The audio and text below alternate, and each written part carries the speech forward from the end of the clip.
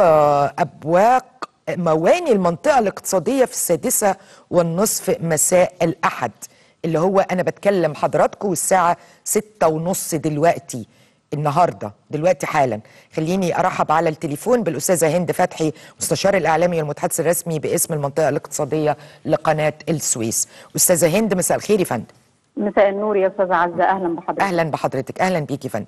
إيه، اشرحي لي أو وضحي لي يعني إيه إطلاق أبواق مواني المنطقة الاقتصادية دلوقتي حالا ده بيحصل؟ دلوقتي حالا بي- بيحدث في مواني المنطقة الاقتصادية لقناة السويس في نعم. شرق غرب بورسعيد والأدبية ومينا العين السخنة السفن والقاطرات البحرية المتراكيه على الأرصفة بتطلق صافرات تحية واجبة شكر وتقدير وامتنان لكل الرجال العاملين في الموانئ وكل آه، الجنودنا آه، جنود الجيش الأبيض تقديرا منا. ليهم وتحية آه، إنهم بيخدمونا وبيشتغلوا من أجلنا. ده دلوقتي حالا بيحصل في الأماكن اللي حضرتك قلتيها حالا وهنبقى نرفع الفيديوهات الخاصة بالسفرات ديت نعم. وكل العاملين انت حضرتك لا تتخيلي ان آه، العاملين في المواني في أيوة. جميع القطاعات لأنه العمل مستمر يا فندم مش كده العمل مستمر العمل في المواني مستمر. المحلية هايل. تمام حضرتك مع الاحترازات.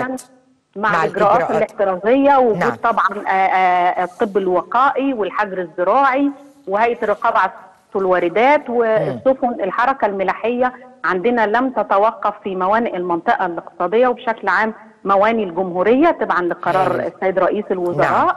والناس شغالة في ورديات وفي طبعا إجراءات وقائية بياخدوها. نعم. والحركة الملاحية شغالة اللي إحنا بيجي لنا بضائع وفي سلع استراتيجية بتخش ال- الدولة.